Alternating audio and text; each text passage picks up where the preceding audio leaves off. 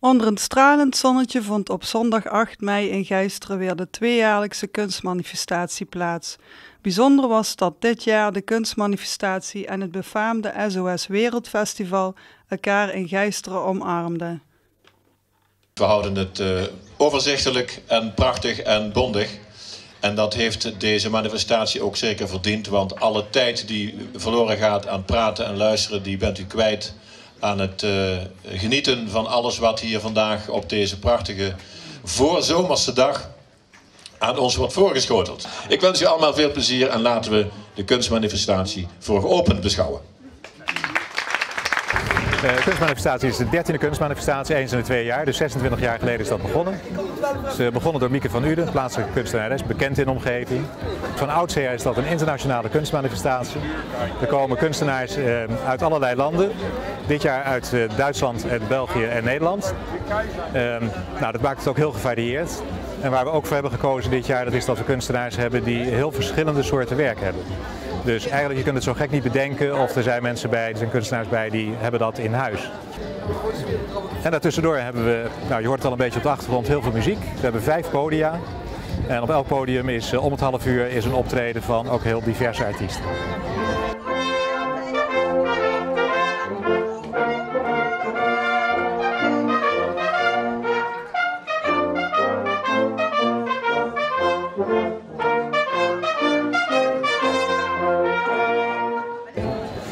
Dus ja, het is langzamerhand is uitgegroeid tot iets wat echt helemaal van het dorp is.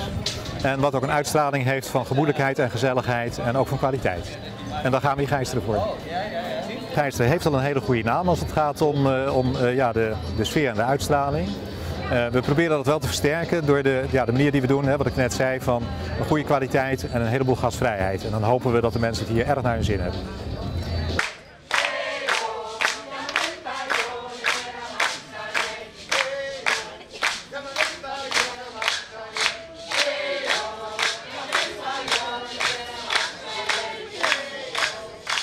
Kun je vertellen over SOS eh, Merlo Wansum?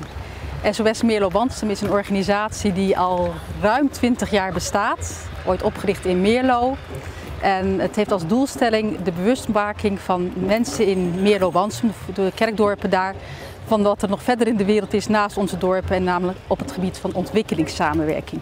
En dat doen we dan in een uh, speelse manier. We doen dat door middel van projecten die uh, de inwoners van die voormalige kerkdorpen kunnen aanreiken.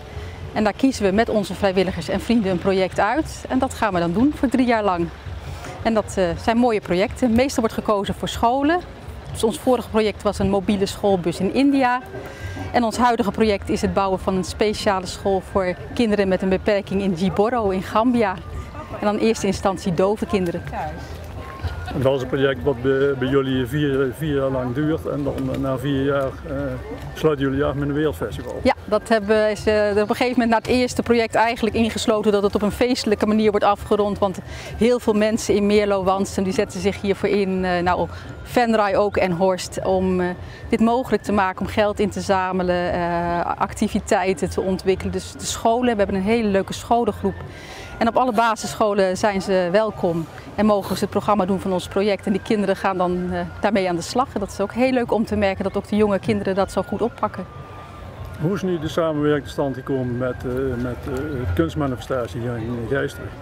Die samenwerking is eigenlijk al vanaf het ontstaan is hier er geweest. Mieke van Uden die de kunstmanifestatie opgezet heeft en René Poels die SOS Merlo Wansum gestart heeft, kennen elkaar goed. En Mieke heeft ook altijd geholpen dat op de kunstmanifestatie er een plek was voor SOS Meerlo Wansum.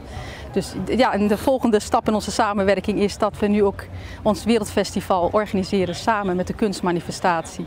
En dat is een hele mooie kans. Kunt u iets vertellen over de concrete projecten van SOS? Eh, we hebben een aantal projecten gedaan. We hebben in Brazilië een project voor straatkinderen gedaan. We hebben een uh, project voor kinderen in Ethiopië gedaan. Een project in Indonesië. Dat was een uh, project voor boeren die geholpen zijn om te starten. We hebben een project in India gedaan. Daar is een mobiele schoolbus uh, gerealiseerd. Voor in samenwerking met Helpende Handen, ook vast wel bekend. Maar hoe financieren jullie die projecten? We zamelen geld in. Wat we merken is, het spreekt zich rond. De organisatie heeft in die ruim 20 jaar een goede naam opgebouwd. Dus ook komen onze sponsoren tegenwoordig van buiten de dorpsgrenzen. En dit keer zijn we heel erg geholpen bijvoorbeeld door de serviceclub Raam en Maas. Dus we zaten zelfs al hier over de, provinciegrens. Die zich ontzettend ingespannen heeft twee jaar lang om er heel veel geld in te zamelen om dit project mogelijk te maken.